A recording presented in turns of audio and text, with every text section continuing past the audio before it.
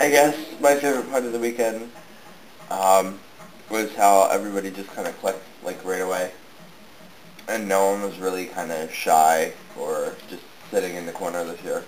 It was everybody was interacting with everybody and talking to everybody and just joking around and having a good time the whole weekend.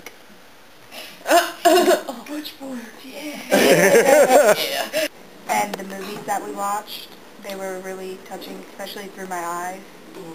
And getting to meet all these new people and learning their stories and the questions Julia asked. what kind like, of vegetable like, are you today? and like, when did you come out? I'm the tray who holds everybody together. Uh, it's definitely complicated the way that I came out, and so I think for me it's always powerful to be able to talk about um, gay people and religion, and not that be, let that be a scary thing. In the original, say my favorite part was the people and like how they all connected.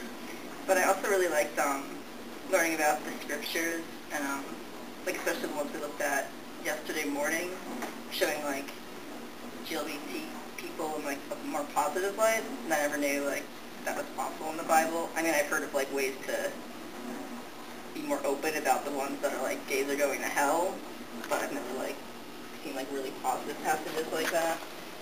And I also like the movie uh, For Your Eyes because uh, I kind of I could relate to a lot of the things they were describing, but it also made me feel grateful about my family because my family has been really supportive.